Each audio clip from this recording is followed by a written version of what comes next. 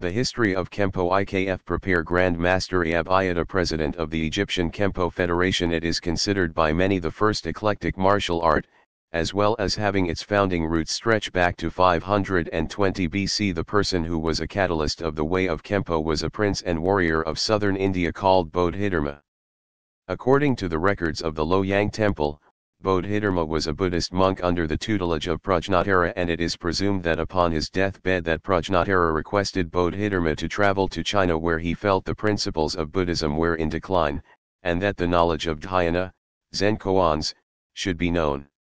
It is estimated that in 520 BC during the southern dynasties that Bodhidharma entered China and traveled northward to the kingdom of Wei where the fabled meeting with Emperor Wu of the Liang dynasty began. This meeting is recorded due to the intense conversation and discussion of Buddhism and dhyana which took place. The meeting was to no avail, his words to the worldly emperor meant nothing, and thus, sullened by his attempts, Bodhidharma left the palace of the emperor and traveled to the Honan province where we entered the Shaolin temple and began a martial history. Bodhidharma's depression grew once he reached the famed Shaolin temple for Prajnatara's telling was true.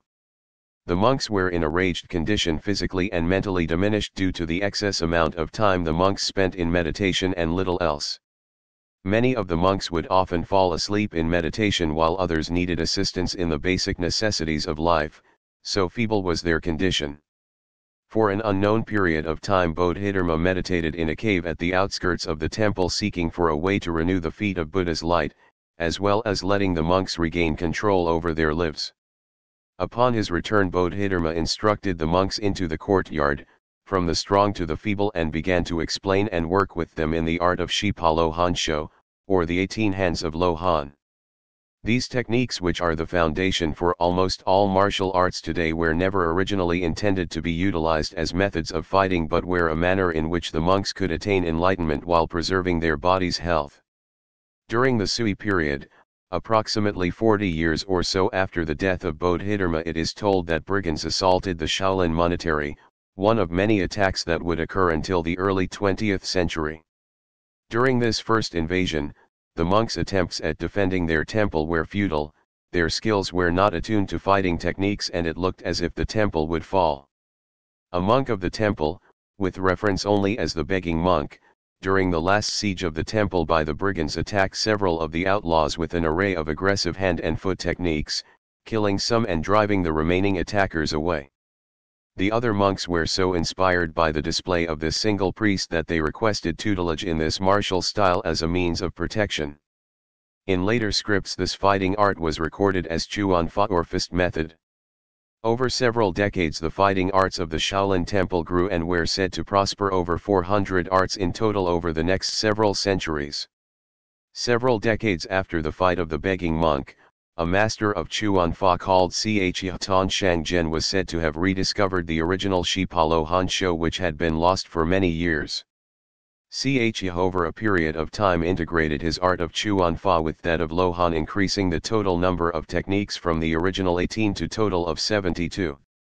For several years after this period Chi traveled the countryside of China promoting his art in several grueling fighting matches until he came upon a man named Li in the province of Shenzi. Li, a master of Chuan Fa as well as other martial ways, including rumors of Chin Na, traveled and trained with Chia for some time developing the curriculum of Chuan Fa to form a total of 170 techniques. Furthermore, they categorized these techniques into five distinctive groups distinguished by various animals whose instinctive reactions best reflected the movements of this new Chuan Fa. Upon their return to the Shaolin temple of which both Li and Chia belonged they presented to the other monks Wu Xing Quan, the five animal form and brought to the Shaolin temple a new stage in martial arts evolution. Over the next several centuries the history of Chuan Fa and its advent to Kempo is ragged in its tales and difficult to gain accurate descriptions. What is known is that the art of Chuan Fa remained and is still practiced in China, but its teaching also found its way to Okinawan Islands and the Ryukyu kingdoms as well as Japan. In both places, the art was referred to as Kempo or Law of the Fist. Between the Sui and Ming periods, an 800-year gap, it is considered that many a wandering monk traveled across Japan and Okinawa bringing with them a working knowledge of the art of Kempo which explains its widespread distribution.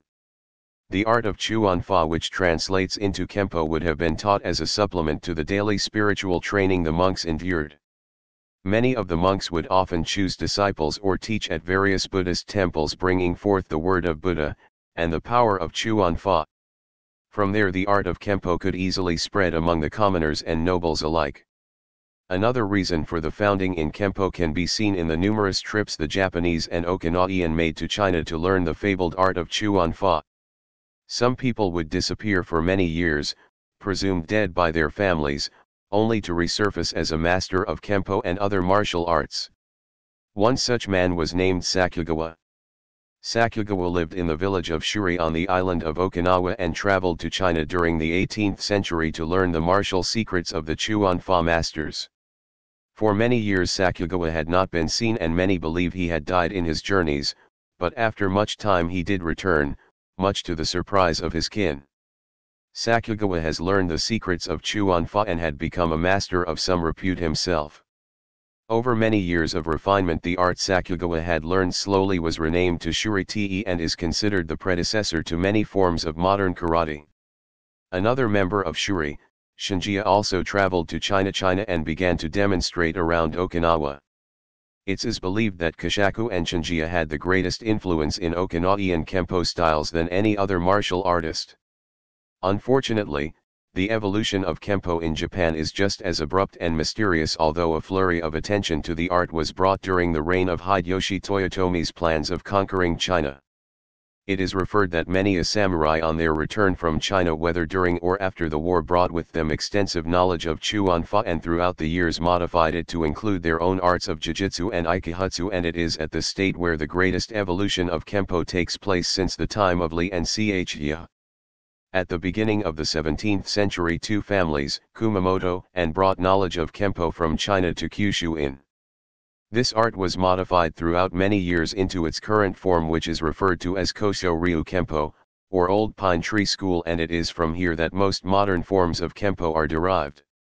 In 1916 at the age of five, James Mitose was sent to Kyushu from his homeland in Hawaii for schooling in his ancestors' are of self-defense called Kosho Ryu Kempo. For 15 years he studied this art which was a direct descendant of the original Chuan Fa. After completing his training in Japan, Mitose returned to Hawaii and in 1936 opened the official self-defense club in Beretania Mission in Honolulu in 1934. Before Mitose' return to the United States, the term Kempo Karate was first used. In an issue of Yonjiho Sha newspaper and advertising for the visit of Kogen Miyagi, a famous karateka and founder of Goju-Ryu Karate Do, to the island of Hawaii. The use of the two terms is under speculation. Some suspect it was simply an advertising scheme while others believe that Kogen Miyagi's Goju-Ryu was actually a pure form of Kempo, and that the term karate was simply more well known. William Chow is perhaps responsible for the largest leap of Kempo to the general public. William K. S. Chow studied Kempo under Mitose for several years and previously had studied his family's art of Kung Fu.